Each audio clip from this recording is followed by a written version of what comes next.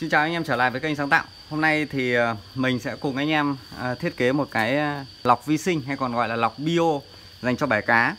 Thì những cái dụng cụ của chúng ta cần có đó là quan trọng nhất là cái sủi oxy. Mình vừa chạy ra mua họ bán 45 nghìn bán lẻ Đây, đây là cái sủi một vòi nhé Cái sủi này có 3W thôi Một vòi. Cái sủi này rất là rẻ tiền. Thì họ bán riêng cái dây này 1 mét là 3.000 còn với cho một cái quả sủi bé bằng cái đầu ngón tay này là 2.000 nữa là tròn 50.000 Tiếp theo là một cái hộp này Cái hộp này để chúng ta chế cái ờ, lọc vi sinh đây. Rồi một cái ống Ống này ống điện Ống trắng này cho nó đẹp Keo rồi dao rồi cưa. Rồi ờ, cái bông lọc Cái bông lọc này mình mua cái bịch này là 25.000 Chắc dùng được khá lâu đấy. Thì đầu tiên là bây giờ nó sẽ dùng cơ chế như thế này. Ờ, Cái ờ, cái cái nguyên lý hoạt động của nó là mình sẽ khoét những cái lỗ ở đáy những cái lỗ nhỏ ở đáy của cái ờ, lọ này xong đó cho vật liệu lọc vào. Và cái ờ, gắn cái cái cái ống này vào trong cái ờ, cái nắp này và đưa cái vòi oxy vào trong cái ống này. Khi mà uh, bật cái máy sủi oxy thì nó sẽ thổi không khí ở trong cái cái lọ này lên. Nó thổi không khí lên thì cái lọ này nó sẽ bị rút không khí ra thì nước nó sẽ trào vào nước trào vào thì kéo theo là cái phân phân cá nó sẽ vào nó sẽ động ở cái um, cái cái lọ này. À, kèm theo vi sinh có trong hồ nó sẽ à, phân giải cái cái phân này. Đó là nguyên lý của cái um, sủi ờ, của cái, cái, cái nguyên lý của cái lọc bio lọc vi sinh này. Thì bây giờ mình sẽ đi khoét cái những cái lỗ ở cái đáy cái lọ này bằng cách là mình lấy cái cái cái dùi mình nung đỏ. Lấy cái dùi mình nung đỏ là mình mình châm thôi đơn giản nhé mình sẽ đi khoét các bạn chờ mình một lát. Chúng ta tiếp tục uh, uh, tiến hành nhé. Đầu tiên là mình uh, đã khoan được những cái lỗ này bằng cách là lấy cái uh, que sắt nung đỏ đây ở phần đáy nhé còn phần trên này các bạn giữ nguyên. Thì uh, tiếp tục là chúng ta chuẩn bị uh, cái nắp này cái nắp này khoan sau đó cắt cái ống này bằng này. Chúng ta gắn cái ống vào đây. Đó gắn nó xuyên qua đây nhá. Đây đấy như tầm này. Rồi ờ, các bạn ờ, giỏ keo cho nó chắc. Đó. Muốn ờ, chắc hẳn thì các bạn lấy cái một chút giấy vệ sinh. Một chút giấy vệ sinh các bạn nhét vào. Đây, mình có một tí giấy vệ sinh đây. Như kiểu chúng ta dán đá ấy. chúng ta cho vào đây. Còn chúng ta dội đổ keo vào. Đấy, nó sẽ chắc hẳn luôn keo 502 nhé đổ keo à? Đổ keo vào xong giấy vệ sinh nó chết luôn nó không nó không tan ra đâu. Các bạn không yên tâm nhé đó. Thế này là rất chắc rồi nhé, tiếp tục là cái ờ, cái vòi oxy này. Ta tiến hành luồn luồn vào cái lỗ bên sườn này. Đây. Luồn làm sao để sau khi mà chúng ta đóng nắp thì cái ờ, cái ống ờ, vòi oxy của chúng ta. Nó luồn vào đây. Luồn vào đây không phải gắn đâu nhá các bạn cứ để như thế này. Nó tầm độ ờ, một nửa cái ống ờ, trắng ở trên này là được. Ok. Bây giờ để nó khỏi cố định cái ống này thì mình cũng cho một tí keo à để cố định cái ống này vào đây. Cố định để khi mà nó sủi nó không bị ờ, nó không bị bật cái vòi, vòi, vòi oxy này ra. Đó. Đó dã một tí keo vào.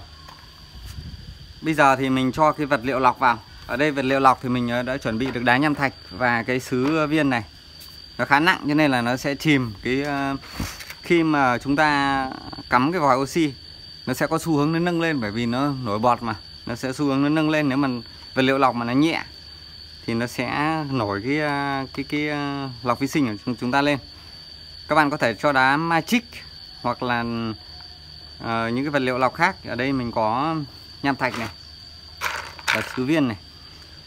Còn một cách nữa để giữ cái ờ, lọc vi sinh này ờ, ở dưới đáy bể của chúng ta là chúng ta cho vào cái ở đây mình có cái hít kính này.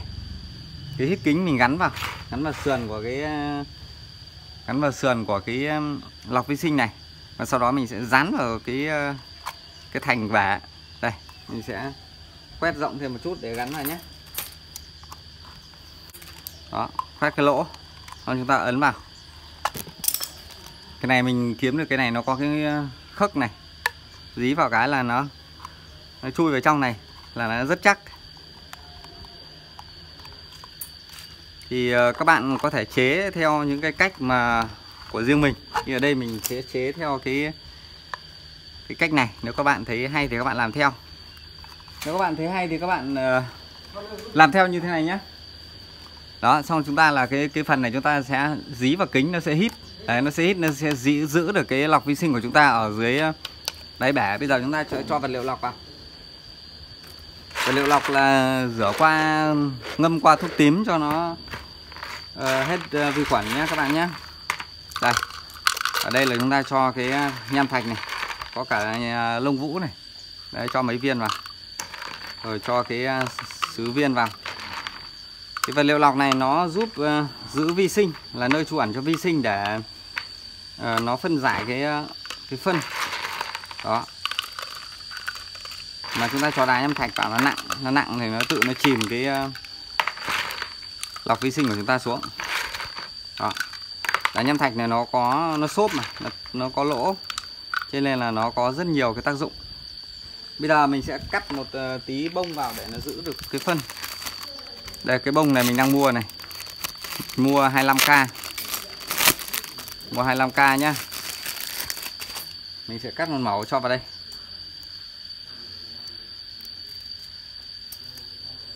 Cắt một mẫu cho vào đây. Cái bông này nó không bị nát như cái bông kia. Không bị nát như cái bông rẻ tiền. Cái bông rẻ tiền nó nó bị nát ờ, nó rất bẩn và nó động phân, nó rất bẩn cái bông này nhìn nó cứng cứng như kiểu tấm di mát ở hồ coi ấy. cái này nó có nguyên lý như là cái elite ở hồ coi nhá. Anh em nhá anh em chơi hồ coi có cái bơm elite ấy. là anh em sẽ biết là cái, cái nguyên lý hoạt động của nó. Đây. Thực ra là mình chỉ cần một miếng thôi. Một miếng là ok. Đó. Bây giờ mình sẽ xoáy cái nắp vào. Mình sẽ xoáy cái nắp vào đây. Đây. Đó, và bây giờ mình sẽ tiến hành đi ờ, thử nhá. Thử cho anh em xem xem là nó hoạt động có hoàn hảo không. Bây giờ mình ờ, sẽ tiến hành thử cho các bạn xem để trong cái xô này nhé xem nó hoạt động hoàn hảo không. Bây giờ chúng ta sẽ cắm cái vòi oxy này vào. Cắm cái vòi oxy vào đây. Đó. Chúng ta sẽ cắm cái vòi oxy vào đây nhá các bạn lưu ý là những cái máy oxy là chúng ta phải để cao hơn mặt nước nhá. Không nước nó sẽ trào ngược vào máy, nó sẽ cháy máy đấy. Cho nên là họ thiết kế cho chúng ta cái dây cũng rất ngắn thôi để chúng ta để vị trí cao nhá. Nào, cái lọc của chúng ta bây giờ chúng ta đặt để đặt vào đây. Nó là nham thạch cho nên rất nặng, cho nên chìm nhá. Không phải hít mà đã chìm rồi. Thì bây giờ để cái máy oxy ở trên cao mình cắm điện cho các bạn xem. Đây, mình cắm điện cho các bạn xem. Đó cái máy này hoạt động rất là mạnh. Đó. Các bạn thấy không? Đấy cái lọc như thế này thì nó vừa đảm bảo là tạo oxy trong nước mà nó vừa uh, lọc được uh, cái hồ cá cực tốt. Cái máy này nó cũng rung cũng khiếp hết nhưng mà nó cũng không ồn đâu. Đây đây là à đây là cái nấc uh, ờ, to nhỏ hai nấc to nhỏ chứ không phải là tắt mở. Đây to này. Các bạn nhìn này. Giảm này. Đó. Bây giờ mình sẽ xách vào bể cá mình test cho anh em xem nhé vâng bây giờ mình sẽ test cái lọc vi sinh này vào trong cái hồ cá cho anh em xem nó hoạt động có hoàn hảo nhé mình sẽ cho cái uh, vi sinh này vào cái góc này. Cho cái lọc vi sinh vào cái góc này nhá. Đấy, cho hít vào đây. Cho lọc vi sinh ở đây.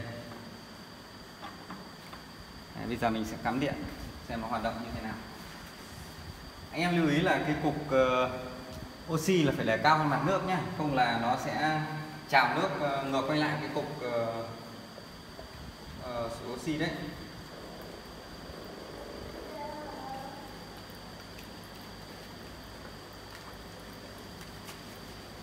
Wow nó rất là mạnh.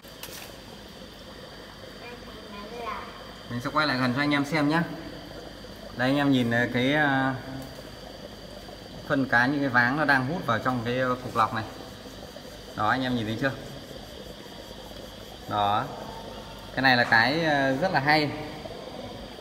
Qua clip này thì mình đã cùng anh em chế cái lọc vi sinh cho hồ cá cũng rất mong anh em ờ, sẽ tìm được cái cách riêng cho mình ờ, phù hợp với ờ, cái bể cá của mình.